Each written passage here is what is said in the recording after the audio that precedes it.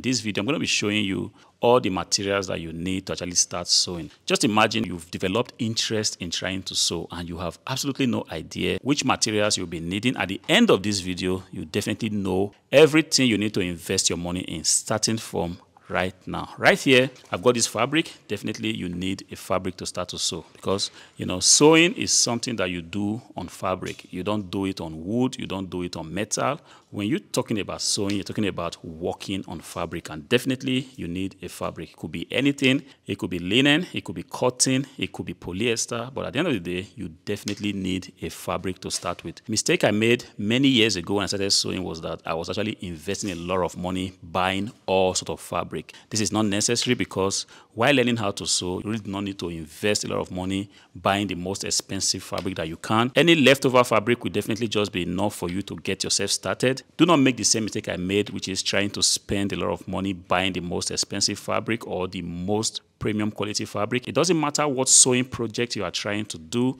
The main thing is that you are trying to learn and just keep it simple. Go for the cheapest fabric that you can possibly lay your hands on. Next thing that you'll be needing is a scissors. Unfortunately, I've got my scissors here as my microphone stand, but I'm still going to demonstrate to you why you need a scissors because when you have your fabric, you definitely need to cut it up and there is no other thing that you can use to cut your fabric aside having a scissors. And the problem is there are so many kinds of scissors out there in the market, but one very good place you can actually lay your hands on a good scissors will be on Amazon or eBay. I also advise that you spend wisely while going for your scissors. Just try to get a very good stainless steel scissors. At the end of this video, I'm going to be leaving a link in the description where you can actually see a few recommendations for scissors that I've got. So like I was saying, do not cut clothes with a spoon. You do not cut clothes with anything else other than the scissors. Also, when I was starting out, I made a lot of mistakes trying to buy a lot of scissors. I bought this one, I bought another one, I bought another one, and I just kept buying because I felt like the more scissors you have, the more you become good at sewing. At the end of the day, I just stuck to one, which is this one I have right here, and I've been using it for a very, very long time. It's a 12 inches stainless steel scissors. It's able to cut through jeans, able to cut through cotton, able to cut through all manner of fabrics.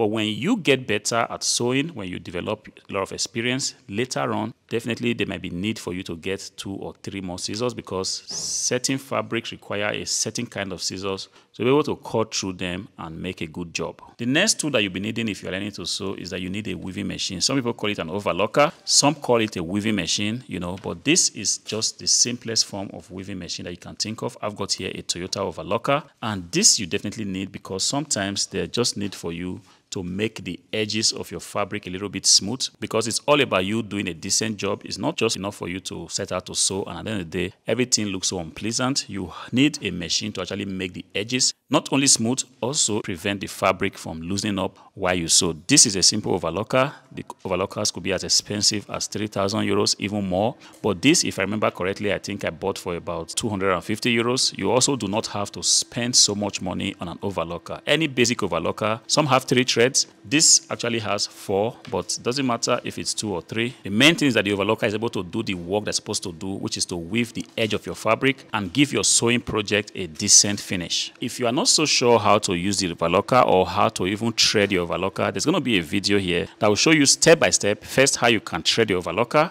also how you can actually use your overlocker to overlock your fabric and at the end of the day you also learn how you can give a decent clean to your overlocking machine because the cleaner you leave your machine the longer it's going to last for you. The next item you'll be needing zippers. You need zippers. Not all projects actually do need zippers, but this particular project I'm working on, I need zippers. And right here, I've got continuous zippers, but it doesn't matter what project you are working on. Just have it at the back of your mind that you might at some point in your sewing career need zippers and the earlier you begin to think about buying them the better. Sometimes you can actually buy them in yards just like you have here or in meters depending on where you live. And sometimes you can actually buy them as single zippers. There are also different types of zippers. There are the plastic zippers there are the metal zippers. But i can imagine that if you are just starting out to sew you really do not need anything super powerful. You just need some basic kind of plastic zippers because this should normally be enough for the kind of sewing projects that you'll be handling at this stage of your sewing career. The next items I've got here are.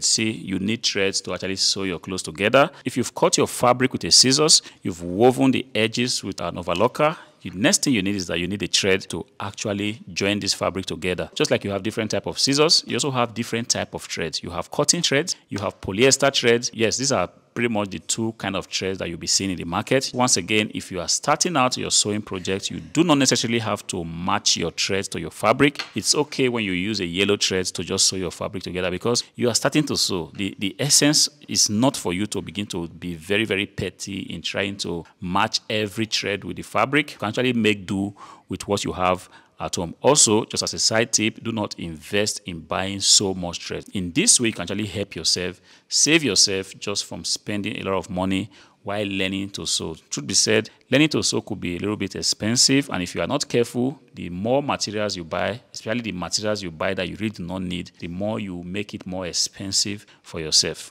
So now that you've gotten everything together, the next thing you need, in fact, is one of the most important aspects of sewing, which is the sewing machine. You need a sewing machine to actually sew this whole thing together. There are different types of machines that are out there in the market. There are tabletop machines, there are standalone machines, there are industrial sewing machines. I've got here a JUKI industrial sewing machine.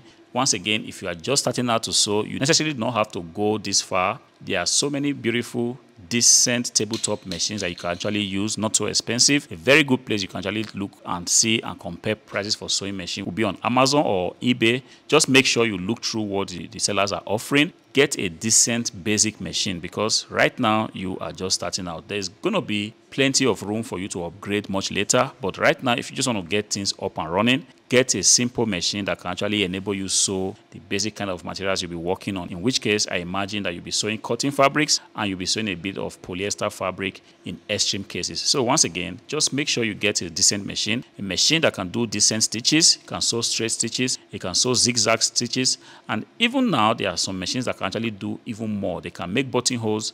It's kind of an all-in-one arrangement. Make sure you take a look at what's available in the market and hopefully you'll be able to find yourself something decent. Another thing you need to get started sewing is a tailoring tape. You see, this can come in different kind of length, but the only thing I can advise is get a minimum of one meter long tape because in this way, it's not too short for you and it's also not too long for you to handle. This is a three meter long tape and sometimes should be said, it's just so long for me and I end up folding it over and over and again. So get a tape basic length and this should actually be enough for you to get started sewing.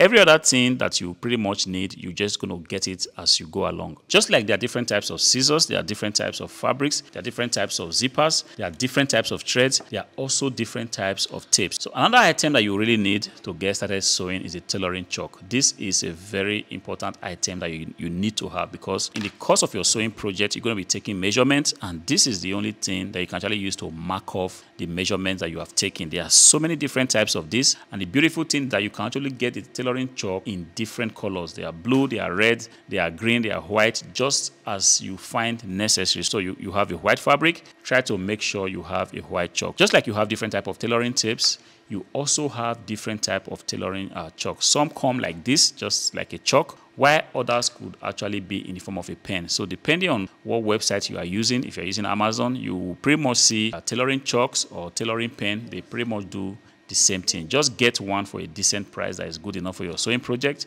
Just like every other item you need for sewing, always make sure you do not buy these things more than you actually need. You can try to get like two or three colors because this should normally be enough for all your sewing projects. And before we wrap this video up, there are still some smaller items that you need that we've not covered in this video. For example, if you are sewing on your machine, you actually need a small cutter like this. It's a small scissors just to enable you cut the thread as soon as you finish sewing. This is actually not a necessity because if you already have a big scissors like this one here, you can actually use it also. But if you have have some few cash to spend around, then think of getting something like this. It's very practical, it's very handy. If you are sewing and you've brought your clothing or your fabric off the machine, you really do not have to always pick a big scissors to cut off the thread with this little thing, it's just so handy. You can just take it and cut off your thread. Like I said, the purpose of this video is just to tell you or to show you the main items you need to just get started out. If the headache you have right now is, I really do not know where to start, I don't know where to, what to buy, this is the exact video that's just going to put you on the right way. Every other little thing that you'll be needing, definitely you'll be able to figure out later and you'll be able to actually get them. If this video has helped you, do me a favor, go onto the comment section and tell me exactly at what point you found value in the video. Also, don't forget to like the video and if you are not subscribed to the channel, please make sure you do until I see you again. Peace.